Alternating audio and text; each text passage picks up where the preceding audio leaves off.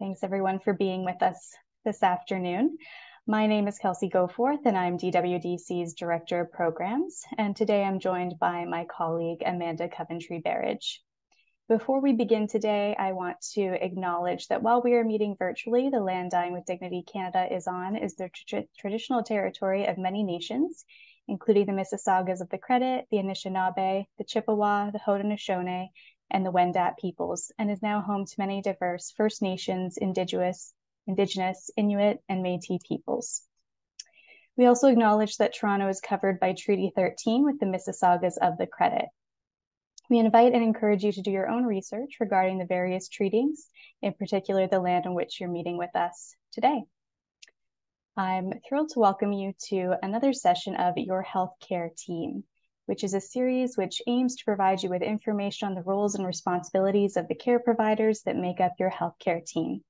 Today, our session will focus on music therapists and their role in end of life care and how they support patients and families. Before I welcome today's speaker, I'd like to go over a few housekeeping items with everyone. So everyone today is muted. However, we'd love to hear from you. So if you do have any questions, please feel free to type those into the question bar, which is on the Zoom side panel, and we'll read that out for you at the end of the session. Please try to keep your question as concise and clear as possible so we can get to as many people on the call today as we can. We will try our best to get to all the questions that come through, but we may not get to everybody. So if you do have anything outstanding, you're welcome to email us. Our email is support at dyingwithdignity.ca and we'll follow up with you. And if you do have a question that's more personal in nature, you're welcome to email us there and we can connect you with the appropriate resources and information. We will be recording the session today, as well. So it will be posted to our website for anybody who, who misses the session or wants to rewatch it. We also have a webinar survey that's going to pop up after we wrap up today. So if you could take a few minutes to share your feedback with us, that would be very much appreciated.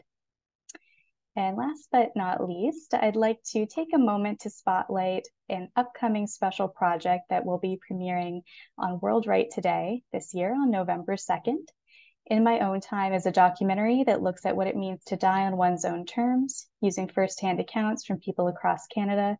This film will offer perspectives on medical assistance in dying, less commonly seen in media reports, and present an opportunity to educate people on end of life choice in Canada. On November 2nd at 7 p.m. Eastern, Dying with Dignity Canada will be hosting the premiere of In My Own Time at the Scotiabank Theatre in downtown Toronto. Uh, other screenings will be taking place across Canada throughout the month of November, so be sure to follow us on social media for updates. And we hope you can join us for uh, the Toronto screening or one of the others that will will have taking place across the country this fall. And now to introduce today's speaker. Joining us today, we have, have Dr. SarahRose Black. Dr. SarahRose Black is a registered psychotherapist and certified music therapist, researcher, and educator specializing in psychosocial oncology and palliative care at the Princess Margaret Cancer Center and in private practice. She is a graduate intern supervisor at Wilfrid Laurier University, and in September of 2023, she will be an adjunct professor at the University of Toronto.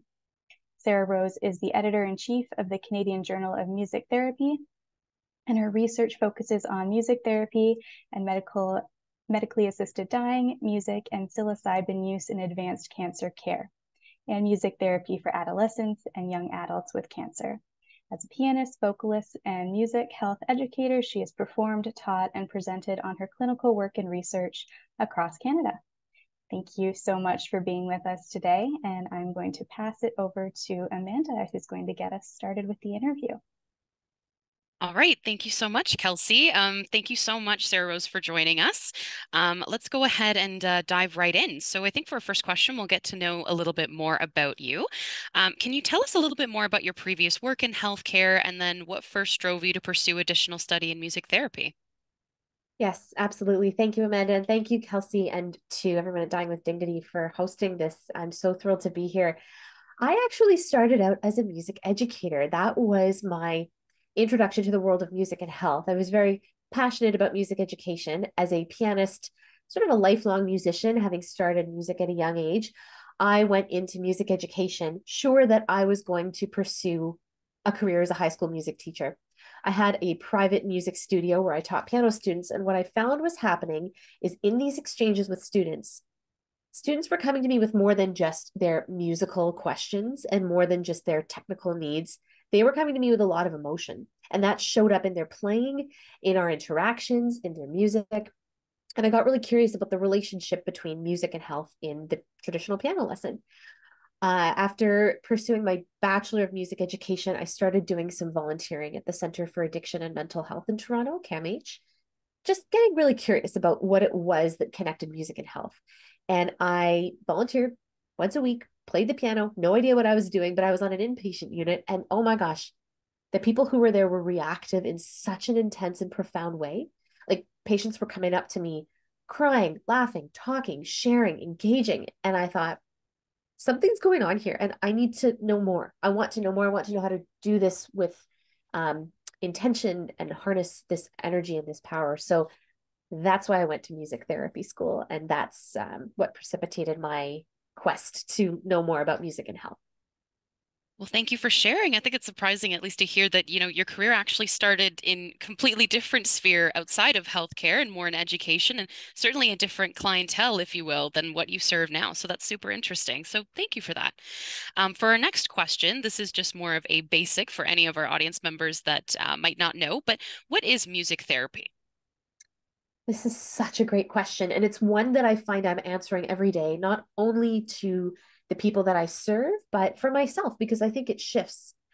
The most clear cut answer is that music therapy is an approach to healthcare that supports patients, clients, people in achieving non musical goals through music. So, to break that down, I use music every day, and a lot of it is live music. Actually, most of it is, but I'm always looking at clinical goals. So, how can I use music to support pain management?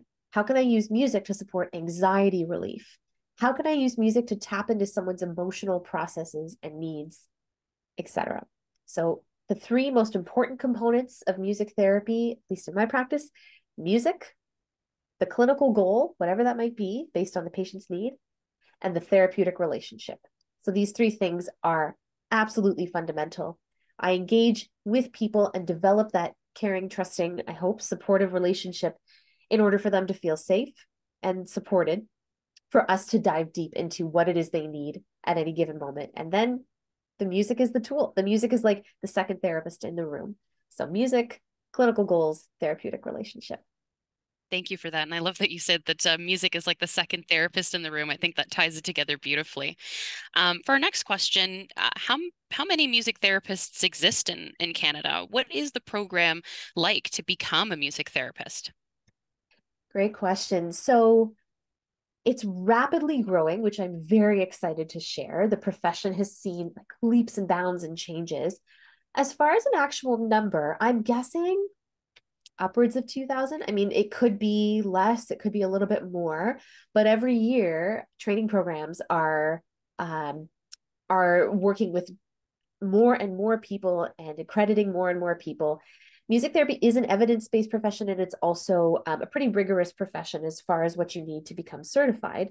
So typically a person will come into the profession and do either an undergraduate in music therapy or a master's of music therapy both are options and streams to become certified i'm finding more and more that people are tending towards a bachelor of music a bachelor of psychology a bachelor of science a bachelor of anything really but you have to come into the master's program with a certain level of musical training, as well as a certain number of psychology credits. Now, I will say this is in Canada. It's a little bit different in the States, a little bit different in Europe, a little bit different in Australia.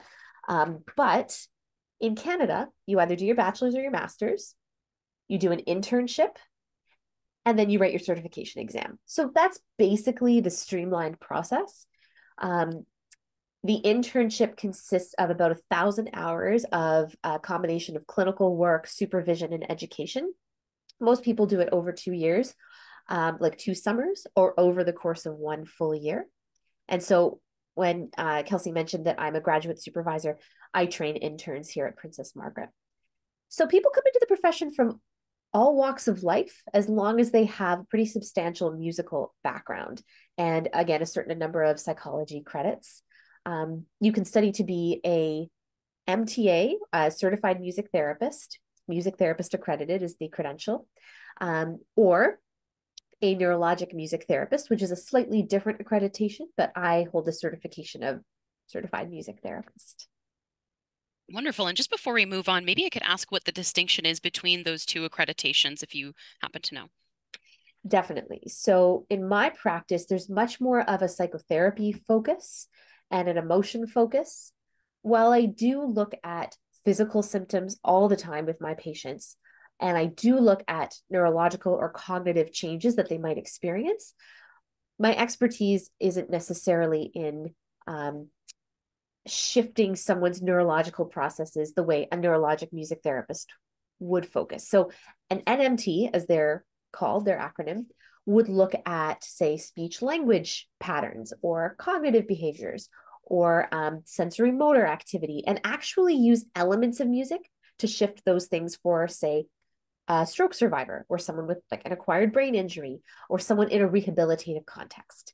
So it's very rehab focused my work is very psychotherapeutic focused. I'm very deeply focused on the relationship that we develop. Um, so there are those distinctions. And to become a neurologic music therapist, you do need to be a certified music therapist first and foremost. And then it's an additional accreditation on top of that, an NMT uh, certification. So a lot of music therapists choose that route.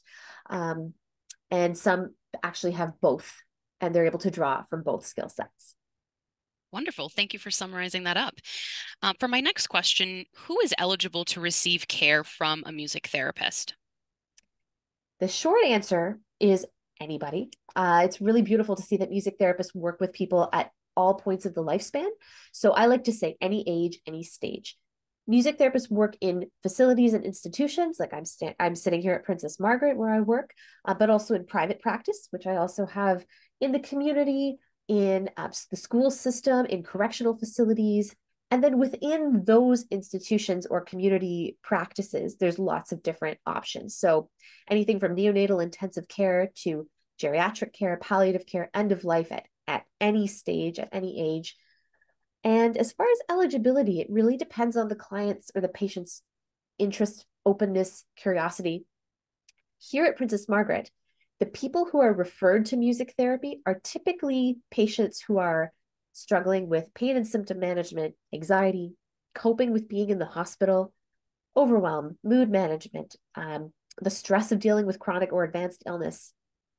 You do not have to have any musical experience whatsoever to participate in music therapy.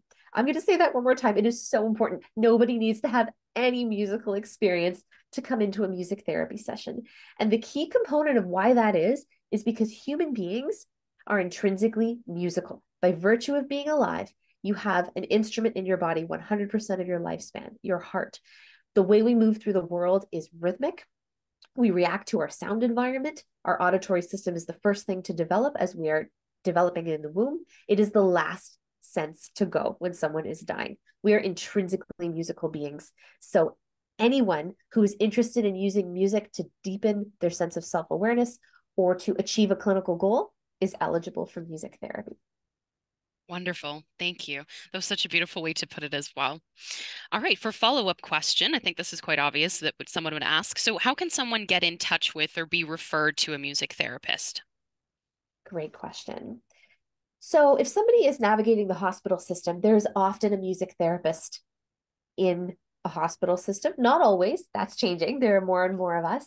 But um, here at Princess Margaret, I just encourage patients to, they can self refer, they can ask their nurse, um, they can ask their physician, any member of the healthcare team.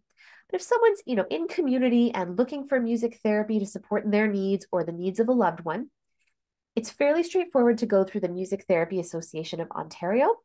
Um, I think it's Music Therapy ontario.com. But in any case, if you Google Music Therapy Association of Ontario, you can actually get directed to a referral page where you can type in your area um, geographically and who you're looking for, and a number of options will pop up. You can always get in touch with me. I'm always happy to direct people. Um, and the Canadian Association of Music Therapists is another excellent place to get information. That's an easy one, musictherapy.ca, and there's a wealth of information there. But um, yeah, I, I, encourage people to reach out as well to me if uh, if that's helpful at all. Um, I'm happy to direct people, but Google is probably the best bet. Musictherapy.ca. Well, thank you for that. And what would be a good way for folks to get in touch if they do have questions? Yeah, I'm happy to leave my email in the chat or share it at the end, whatever you think is best, Amanda. Wonderful. Maybe we can include that in the chat. We'd include in a follow-up email for all folks who are interested. Thank you so much for offering um, your expertise to those who might be interested. So wonderful. All right, so we're actually going to break down more into what actually looks, what a session looks like um, day to day. So for my next question, in your practice, you integrate psychotherapy as well as music therapy into your care for patients. Can you break down what exactly a session might look like? Absolutely.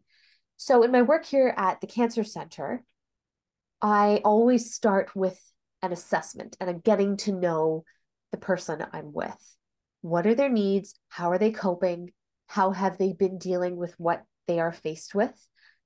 What's the role of music in their life? So I ask a number of questions that I have that help me better understand who a person is and what their needs might be. So we start with a conversation. And then, as far as the musical interventions that I might use, I like to offer a number of different things. So that could include receptive music therapy, where I would be playing the music and the patient would be essentially receiving it or um, just active listening, like being present and taking the music in. And I'm using music very specifically to either manage their breathing, like I might use music at a specific tempo or speed to slow their breathing down. I might use familiar music to them um, as a source of comfort or reflection or catharsis or nostalgia people can get quite emotional when they listen to music that is meaningful. And I love getting to know people through music because every single one of us, regardless of our cultural background or um, how we were raised, we have a soundtrack to our lives that's made up of all the sounds, the songs, the experiences we've had musically throughout our lives, whether intentional or not. And I like getting to know people in that sense. What's your musical DNA? What's your musical fingerprint?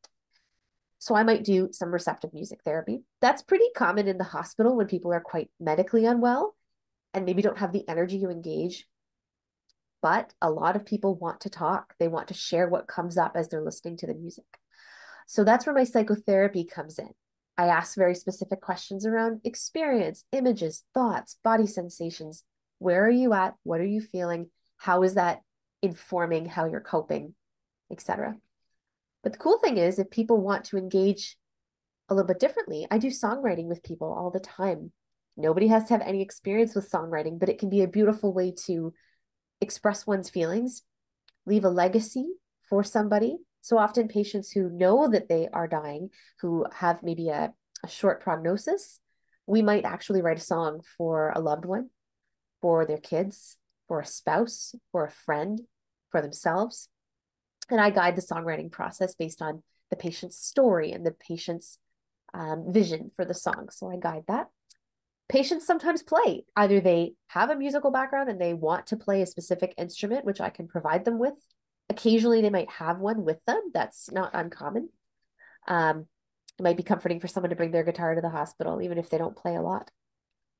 Sometimes I encourage people to use their breath and their voice, and I do some guided humming, guided singing for breath support, for oxygenation, um, for relaxing in the nervous system. And we do lyric analysis and we do um, prescribed playlists. So there might be something coming up that they want a specific playlist for. I will guide them through creating that. And and on and on it goes. So it really it totally depends on what the patient needs and wants and then I offer a number of suggestions. Thank you for that. I find it so interesting that you can change just very tiny aspects of how you deliver your care, and it can really provide such a different um, outcome and, and provide such a different tailored experience for each patient. So wonderful. So I know we've uh, mentioned before that you work there at Princess Margaret, but you also have your private practice. So for my next question, what kind of patients typically seek out your services? Great question. So I see a lot of people for traditional sort of talk psychotherapy. Maybe traditional isn't the right word, but if people want verbal psychotherapy to process their experience of chronic or advanced illness, uh, managing anxiety, managing depression, managing big life transitions or big shifts in their experience, grief and loss, uh, they might come into my private practice. And typically, if someone's seeking out psychotherapy, then yes, we go with the talk psychotherapy model. But I like having music as a tool in the background where I can maybe offer a suggestion for music as a form of mindfulness or relaxation, in addition to the work we do in talk psychotherapy. So, people who might seek me out in private practice may be people who are living with long term chronic illness and perhaps um, have have gained access to support through a hospital system, but there often is a cap on how much support a hospital can give somebody if they are say an outpatient it really it depends on the hospital system and some people prefer longer term therapy so they might seek out private practice um, some people might look for um, a space away from a healthcare system like at a community clinic that might be not connected to the place where they have to go for, say, chemotherapy or treatment. Um, or I might see couples together who are interested in exploring aspects of their relationship through both talk therapy and music therapy. In my private practice, I don't see children, but I will see teens, young adults, and then up through um, older adults. But a lot of people in private practice will focus their attention on, say, kids um, living on, with the on the autism spectrum, um, kids dealing with various diagnoses or struggling with different mental health concerns. Uh, it might be helpful to have a longer term therapist in private practice versus in the traditional healthcare, public healthcare system. Wonderful, thank you. And before I move on, I just wanted to touch on um, one aspect of, of the care you provide for those that are um, suffering loss or experiencing grief. And I just wanted to to ask if there's you know any lessons learned or any wisdom that you've kind of gleaned while you've been supporting patients. That is such a lovely question. I think the short answer is yes.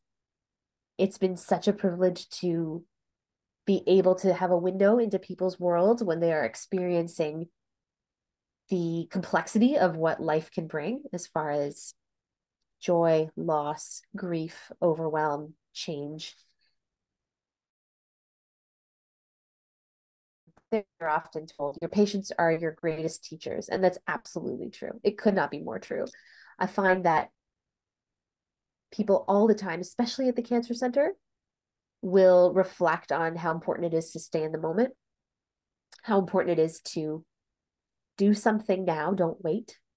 Which, you know, sometimes that's feasible, sometimes that's not, but it's a beautiful lesson to keep in the back of one's mind to really seize the moment and to appreciate and to just be so full of gratitude every day. I find it's so, um, it shines a light on how grateful we can be for so much, even though um, there can be so much suffering. And that comes down to human connection, support, and care. I watch as you know nurses provide such tender care to patients, and this patient who is profoundly suffering is so deeply grateful for that exchange and might share that you know that's what gets them through their day so those moments are real life lessons that it's the connections we make the care we give for each other the gratitude we can hold that really that's really the the best part of life wonderful thank you um, for my next question, you've already touched on this quite a bit. Maybe if you want to dive in a little bit deeper. Um, for this question, how can music and music therapy treat or bring comfort to patients? Lovely. So, as far as treatment, I'm often referred to people who are perhaps dealing with complex pain. So, I'll start there with the physical, um, and then I'll move to the emotional and perhaps the psychosocial aspects. If somebody's dealing with complex pain, they're going to be on a pain medicine regimen. But in addition to that, it's often helpful to have something non pharmacological, so not medicine, but something that they can experience without having to take a pill. So I might go in and use music to slow their breathing down. And that does a number of things. If we slow our breathing down, our heart rate can go down. If we can slow our heart rate down, our bodies can relax. And effectively, what I'm working on is engaging the parasympathetic nervous system. When we are under threat, perceived or real, or when we are experiencing intensity in the form of pain, our sympathetic nervous system can flare up, that fight or flight response fight, flight, freeze. And that can actually add to somebody's distress or the intensity of the pain. But when music can be offered, especially live music, in that context with great care and intention and skill, you can actually slow someone's heart rate down through this style and tempo of your music. Sometimes I do a bit of guided work with my uh, with my words, but often it's just the music. And we're working on sending a signal to the brain to say, you are safe, you are safe. And to actually slow the heart rate down can actually change someone's perception of their pain. This doesn't always happen right away, but it's certainly something that we are taught to do in music therapy school, which is quite powerful. It can also be a great comfort for family members to know that there's this sonic blanket, this sonic hug that is wrapped around their loved one that might be familiar music or it just might be soothing, comforting, and improvisation. So that's one. Oh, hi there, folks. I think uh, SarahRose is having a little bit of technical difficulty. We're just going to hold tight for a second and make sure that everything is okay. Hi. Hi. Wonderful. You're back. Welcome back. Uh, just want to make sure everything's okay. No, that's all right. Technical issues, it happens. Yes, so go on. um, thanks. Yeah. So we were talking about the physical perception of pain and how music can affect that. But as far as treatment emotionally and looking at things like anxiety, often music can tap into an emotion that a patient doesn't even realize that they're holding.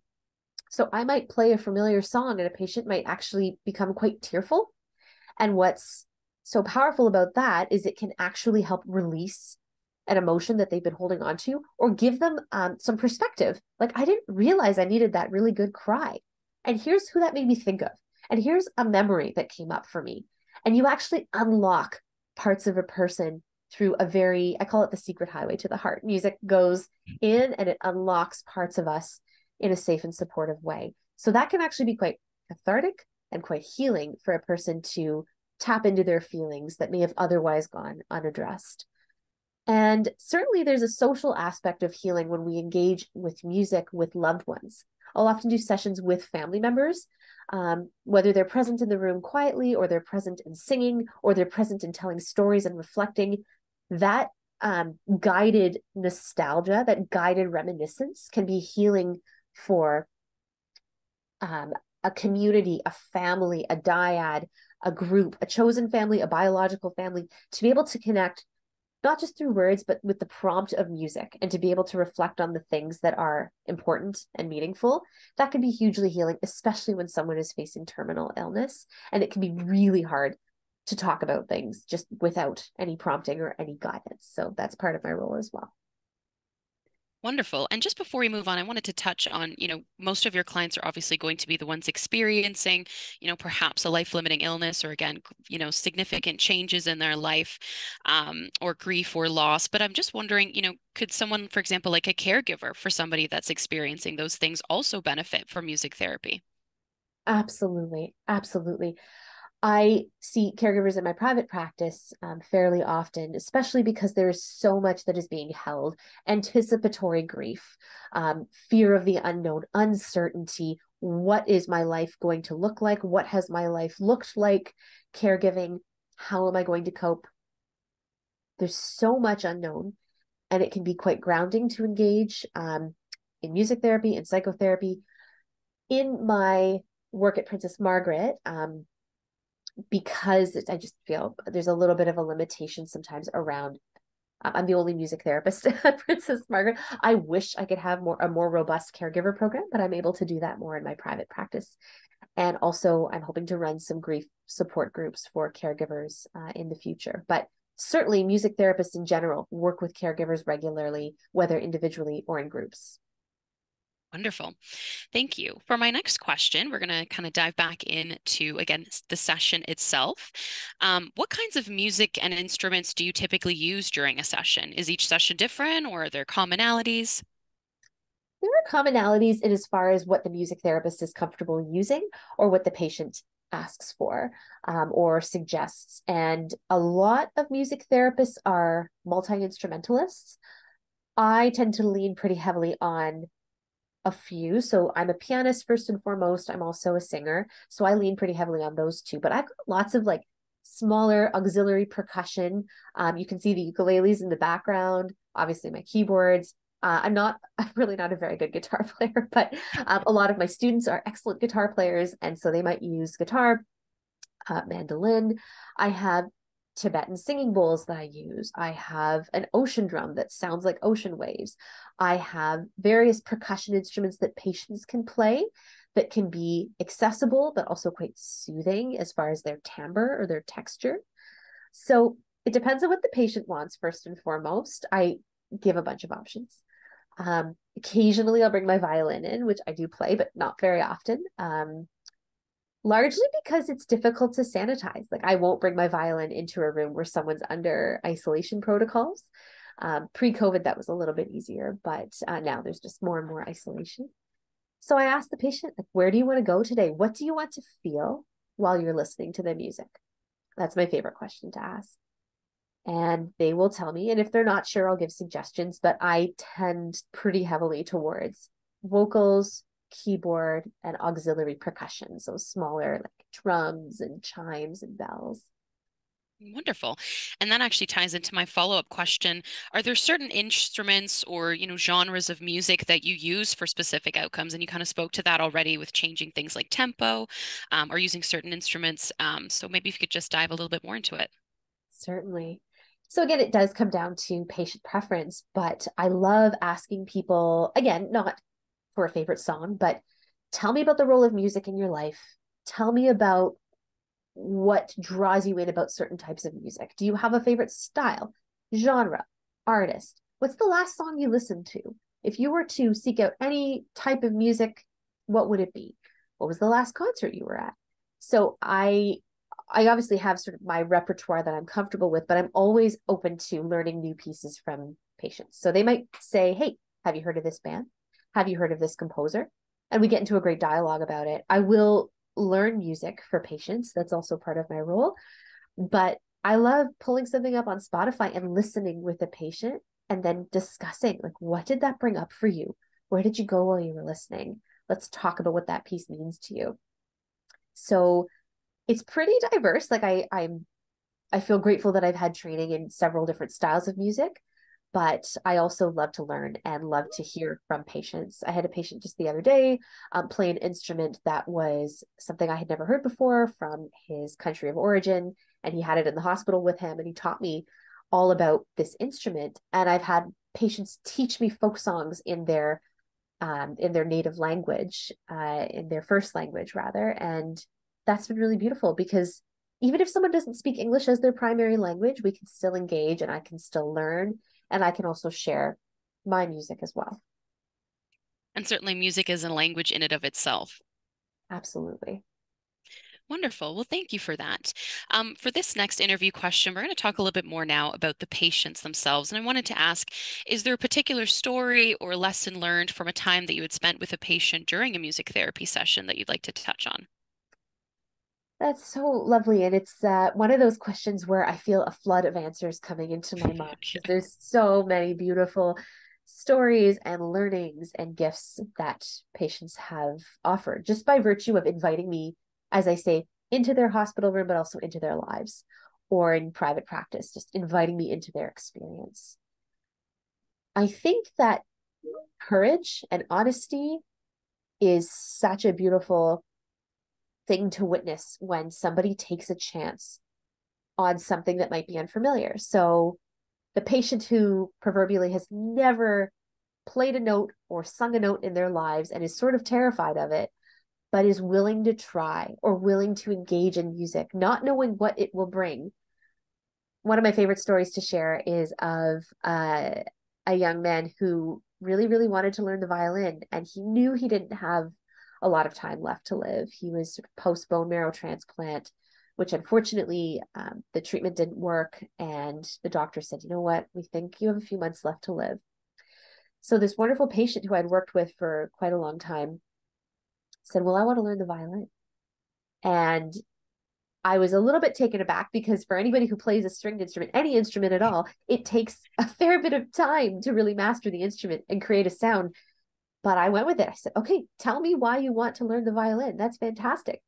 And he very sweetly said, well, I want to play it for my wife. I want to play the song that she walked down the aisle to on our wedding day. And I want that to be the gift for her.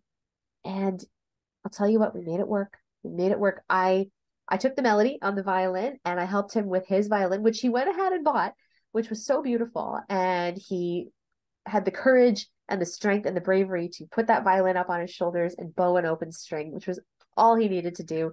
And that courage, that bravery, taking a chance on something and in the hopes that it creates legacy, it creates healing, it creates beauty that is so powerful to witness. Wonderful. That's a beautiful story. Um, and maybe just a, a follow up question to that. I'm just curious if um, you've ever worked with a patient that maybe already had some experience in music or already was a musician um, and still sought out your care. Definitely, definitely. It's interesting. It's a mix. I I work with a lot of professional musicians or music students, but sometimes people who are admitted to the hospital who are musicians may be a little reluctant to engage in music therapy. And what I've learned over the years is that's because it's just so deeply connected with their sense of identity. And there's a sense of loss if they can no longer do what they used to do in the same way. But I see that as an opportunity for discussion, for healing, for therapy. Like let's let's dig into that.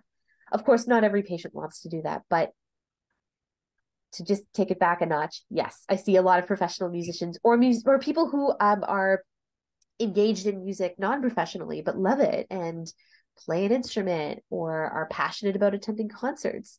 And i have walked into rooms and seen instruments in the room. Um, patients sometimes just get really excited like can i play you this song? I haven't played the guitar in so long but i want to play because you're here. And there's music in the hospital or setting a patient up with the help of my physiotherapy colleagues in front of my keyboard because they haven't touched a keyboard in a really long time and that's very special and I can think of one one very young man on our palliative care unit years ago who used to play the saxophone, and he was so unwell and really really struggling with um, abdominal pain as a result of his pancreatic cancer. But he said, "SarahRose, I used to play the saxophone, and I want to play again. Like I really want to go out with a bang." He said to me, "Can we get a saxophone in here?" my beautiful colleagues um, at Long and McQuaid over on Bloor Street were like, "Yep, we can get you a saxophone." Sure enough, I watched this young man put his saxophone together, and it took a lot of time. It took a lot of effort, but he did. He put his alto sax together and put his reed in, and he held it up, hospital gown, at the edge of his bed, and just wailed on it for like five seconds. Like the entire palliative care unit, I think, was like, what was that? And he was so happy. And he put it down and he said, that was amazing. so is so lovely to uh, to see kind of the range from people who are more physically well and able to, or less physically well but still able to, and still passionate about that part of their identity. Wonderful. Thank you for sharing that story. Um, for my next question, again, more patient focused, have you ever provided care to someone at their end of life and, you know, immediate end of life? And what was their experience like? This is a very um, a beautiful question and something very dear to my heart because a lot of my work is with people who are right at the end of life.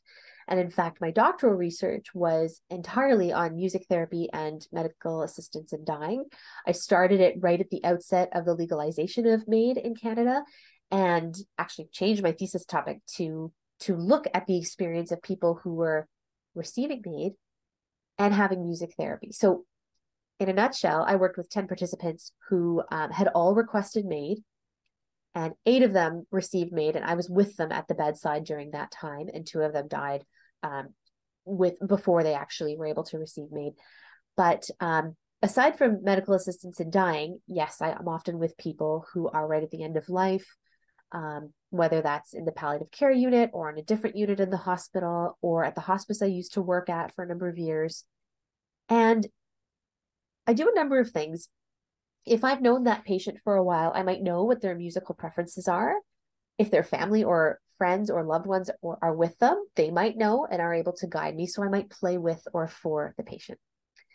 I might do some breath work as well in guiding their breathing. And in fact, the breath will sync up with the music that I play subconsciously. So I've seen it many, many times where a patient will be breathing in a certain way. And then with the addition of music at a certain tempo, the breath actually matches the tempo of the music and I can slow it down, which can be quite a comforting thing for families to watch, especially if someone's breathing is labored. I often like to provide familiar music and encourage family and friends and loved ones at the bedside to remember that often the patient can hear us. Very often, this is something that they are comforted by. Like, yeah, talk to them, sing to them, be with them. It's very, very possible they can hear us. So I am with people often in those last moments, and then with the family in the moments after someone has died, um, which can I, often keep the music going at the patient's or family's request. Um, and sometimes I'm I'm I'm there just as a support, as somebody who can give a hug or hold someone's hand or offer a Kleenex. Wonderful, wonderful. Thank you so much for sharing, um, and I, you know, certainly thank you so much for for supporting those families during such a moment. Um, it sounds like the uh, the efforts that you made really really supported them and comforted them. So, all right. Well, that time went very quickly. We're actually at the end of our formal interview. So thank you so much for answering those questions. We have lots of questions coming in from the audience. So thank you so much to our audience members. Um, so we'll go ahead and get started. And for anybody else that hasn't submitted a question yet, please go ahead and put them in the the, uh, the Q&A panel. So let's see here what we've got. All right. So for first question from our audience member asks, is there any kind of music that you stay away from while offering therapeutic sessions? Fantastic question. We know that music can cause harm. Um, it's not one particular type of music, but it's music because it's so powerful. And if it's used, I think, unintentionally, um, or if it's used without support, I mean, I unfortunately have seen it where it's, say, in long term care, somebody may put headphones on someone and walk away. I mean, that can be quite damaging. There is no one particular genre or style that I stay away from specifically. But again, it comes down to the patient's preference. Like they might tell me. I once worked with a professional singer who said, I want you here. I want you to sing. Do not sing anything I'm going to recognize because that will be too painful. So that person just guided me and I purely stuck to improvisation. I didn't do anything pre written or familiar. Uh, but I also sometimes we don't know, right? And I'll play something and it will be upsetting for a patient. But that, as a therapist, is an opportunity for me to ask, okay, what's happening there for you? And do you want to talk a little bit about what happened there? Or do we want to just stay away completely? So I just, it all comes down to taking the patient's lead, but no, no specific song or genre or artist that I stay away from. Thank you. Thanks to our audience member for submitting that question. All right, let's take a look. Okay, um, this audience member says, it sounds like your role is incredibly fulfilling, but difficult at times. What is the most challenging part of being a music therapist? Oh, great question. A great question. Sometimes it can be quite isolating. And yes, it can be heavy to um, to carry the stories and to be present for life's most tender and vulnerable moments, I lean very heavily on the staff that I work with, my colleagues. Um, for example, like the palliative care staff, they totally get it. They're there at the bedside too. We're all in it together. But as I said, I'm the only music therapist here, and that can feel isolating. Also, when there's a lot of misperception, misconceived notions of what music therapy is. And with a lot of love, sometimes when I'm walking around the hospital, people will make comments like, they'll see my keyboard and say, "Oh my god, what a fun job." Or where's the party? Or where's the concert? Fair enough. I mean, it stands to reason that you would think that if you saw a musical instrument, but I can often feel isolated because the work can feel quite vulnerable. And when there's a lot of misperception of it, it's a lot to advocate and to educate. And sometimes that piece can be a bit um, overwhelming. But uh, at the end of the day, there's so much that is fulfilling. It, it does balance it out. And I do seek a lot of my own support around those isolating moments. Yeah, and I was I was actually going to ask that as a follow up question for you and your colleagues, both at Prin- Princess Margaret as well as in your private practice. How do you manage, you know, your own grief or your own um, your own overwhelming feelings when you perhaps work with a patient that then dies, um, or that no longer seeks out your care, or that you know a very memorable story or um, you know something significant? How do you manage that? Totally. A lot of my own supervision, a lot of my own therapy, um, a lot of my own processing and uh, doing my own work on the feelings that come up and not avoiding them. Although, let me tell you, like to be honest, we all go through ebbs and flows. I think of um, avoidance, or uh, you know, I've had moments that have that I haven't been coping in a healthy way, but um, really kind of coming back to self awareness around okay, what do I need right now? Am I feeling burnt out? Why is that? Where can I find support? I have incredible family and friends that I lean on heavily too, but um, professionally, a lot of my own supervision and support. And as you both know, I love to run, and I find that physical release is really, really, really important to me as well. Yes. SarahRose had mentioned just before we started that she's going to be in an upcoming marathon. Um, I believe it's next weekend, you said? It's this Sunday. Yeah. It's this Sunday. Amazing. So I wish you good luck with that.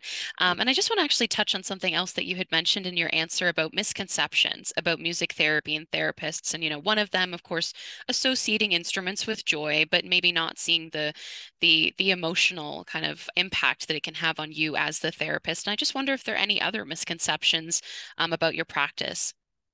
Certainly. Um, I've often been um, considered and with great respect to volunteers like, oh you must be a volunteer who comes in and plays music. And while that is an important piece here we do have volunteers coming in to play music in, in more public spaces in the hospital. Absolutely. And we have paid artists coming in as well. Um, those are important but i think it, it, it can feel um, hard when you you do have to spend a lot of time and a lot of years training to be at the bedside in order to provide safe and ethical care because that's the foundation of what I do is you know it, it, the care has to be safe and ethical. So sometimes it can feel hard to be misperceived um, however I do I do advocate for music in the hospital in all ways but um, yeah I think just the the time that goes into to training to become a music therapist is important too Absolutely. Thank you, audience member, for that question. Um, for our next question here, we actually have a fellow certified music therapist in the audience. Um, so they ask, I know, yeah, wave hello. Um, they say, I am also a certified music therapist working in acute and hospice palliative care in Vancouver. So thank you so much for joining us from BC. Um, in your experience, what music is the most effective for pain management? And the audience member says, the research I've encountered suggests it's loud and up-tempo music that provides the best distraction from pain. However, in my own experience, it's music that is familiar or that has a personal connection for the patient that works best. And she's asking what your opinion is or what you found. Mm. Thanks for that question. And hello, fellow music therapists. It's lovely to connect. Um, I think you nailed it. I think it, uh, uh, in my practice, at least it comes down to patient preference because what might be hugely therapeutic for one patient might be very different for another when it comes to pain management. Um, my example of the professional musician who didn't want to hear anything familiar versus yesterday, um, a gentleman in his 70s was like heavy metal. It's got to be heavy metal. I just, uh, you just never know. I like to lean on improvisation for pain management. Um, but if a patient is is guiding me towards familiar music, then absolutely that's what I'll use. So at the end of the day, I think it all comes down to what a patient prefers. Um, so there is sort of no, it's very difficult to do research in this area, I think, because everyone's experience is so subjective. But I love that you said that in your experience, this is what you found. And I would continue to lean into that because at the end of the day, our patients really are our greatest teachers. So I, I hope that's helpful. I hope so too. I'm sure it is. Thanks to our audience member and fellow music therapist for submitting that question. All right, uh, here we go. Next question. This audience member asks Are there any elements of music therapy that a person can do on their own in their own homes? Oh, love it. Yes, absolutely. Great question. I think that um, we can often be passive music listeners, which can be wonderful and helpful. I do it too. I have music on in the background. But to actively select music to match your mood or to shift your mood, that would be my number one go to. So let me break that down for a moment.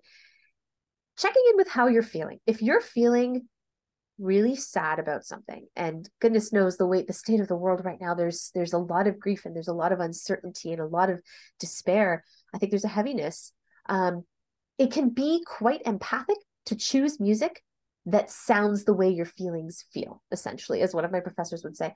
So if I'm feeling heavy and sad, I might actually choose a piece of music that is heavy and sad because that empathy can feel very comforting. Like the music gets it. The other option in active listening and active choosing of music is to to shift your mood. Okay, I'm feeling heavy and sad. I need something to lift me out of it. I'm going to choose music intentionally that I know makes me smile. I know my toes are going to start tapping or I'm going to have a 10 second dance party and gosh, that really makes a difference. Um, I also here's another one. It can feel really good to send someone a song.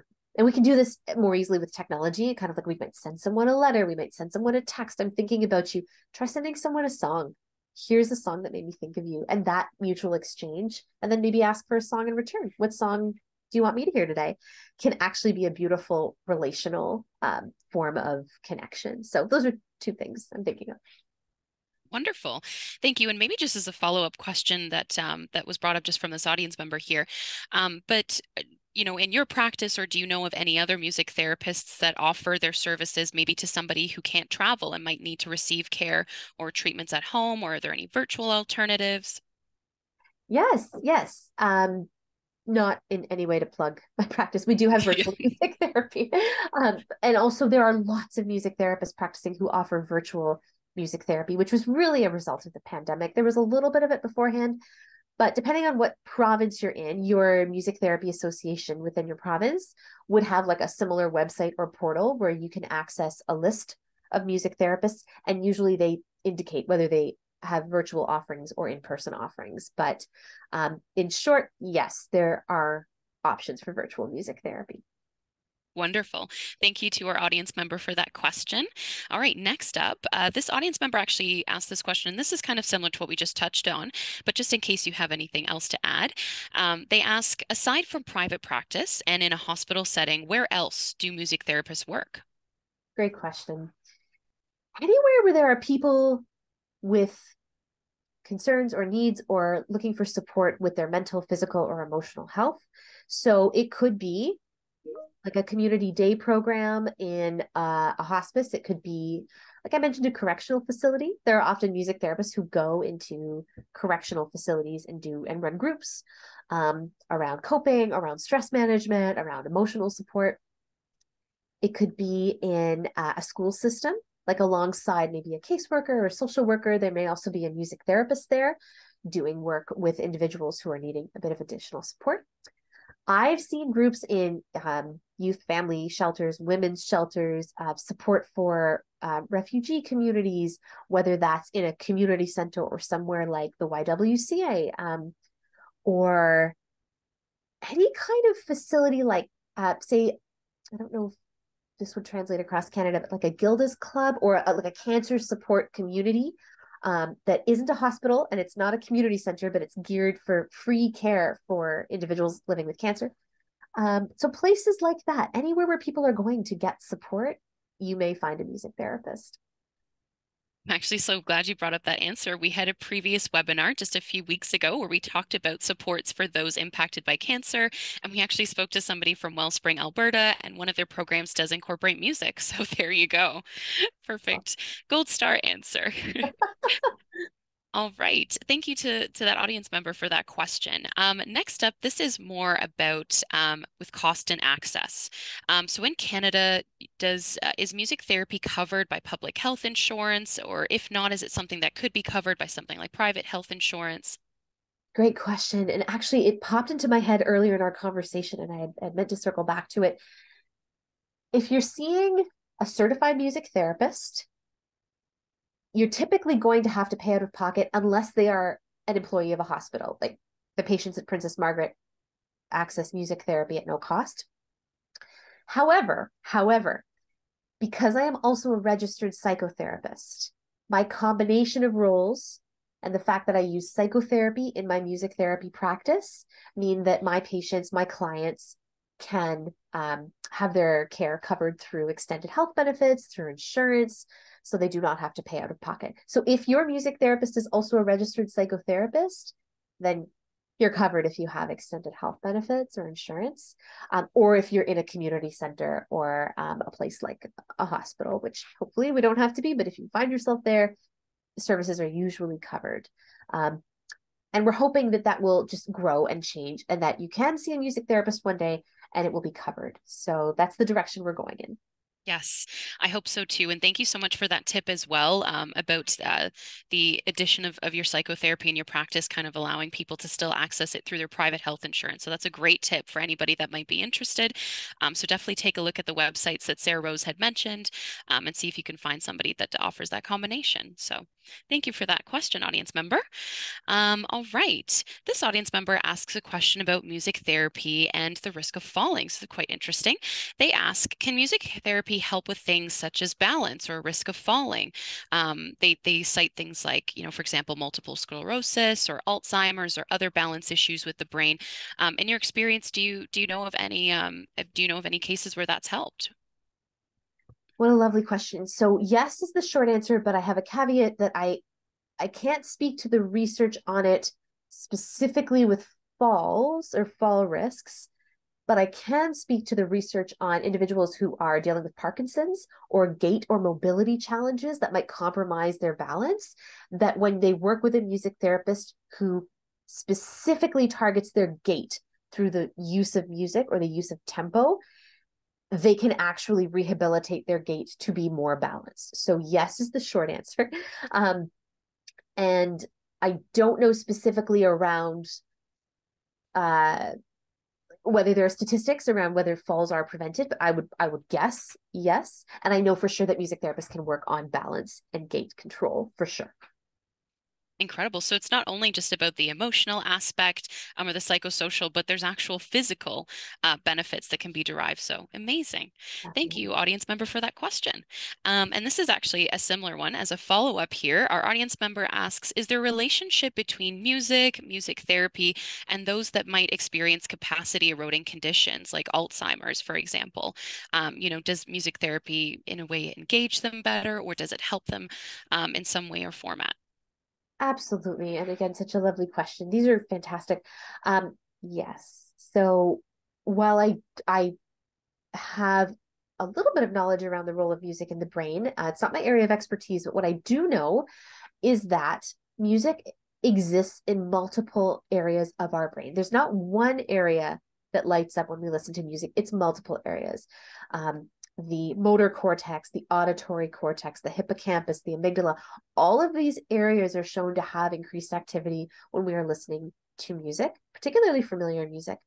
But what we've seen in the research is individuals with any kind of cognitive challenges or shifts, like dealing with Alzheimer's, dementia, memory impairment, they can often access memories through music.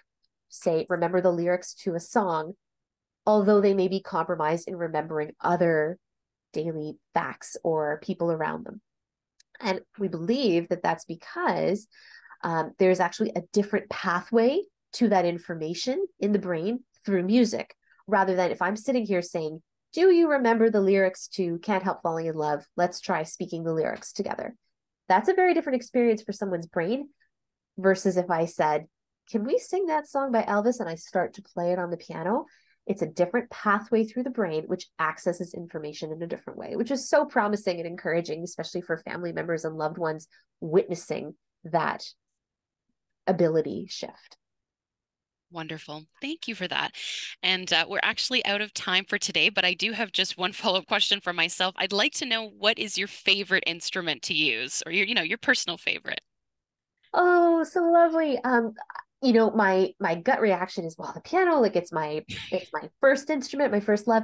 But i've really come to love using my voice and the power of connecting through one's voice the sonic experience the vibration in the room. When i use my voice when a patient uses their voice with me i love to sing. And that's something that's developed over time. I didn't always love to sing. I was very very shy and nervous about my voice.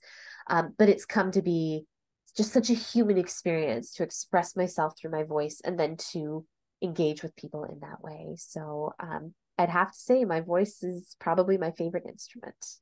Wonderful, wonderful. And again, just before we go, I just wanted to ask again what those associations were if people want to look up um, uh, their music therapists in their province or again across Canada. Just one more time, that website that you mentioned for the the you know the province or the nationwide um, association.